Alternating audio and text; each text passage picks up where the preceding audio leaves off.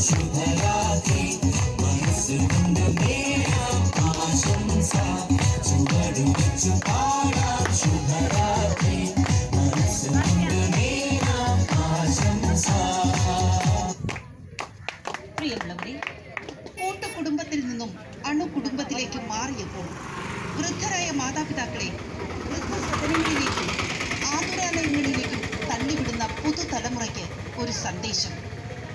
വൃദ്ധരായ മാതാപിതാക്കളെ സ്നേഹിക്കൂ സംരക്ഷിക്കൂ പരിപാലിക്കൂ.